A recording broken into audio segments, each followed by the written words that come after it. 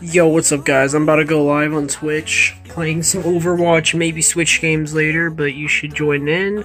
Link will be in the description, just press it and you'll join. So, yeah guys, hope to see you in the stream. Peace!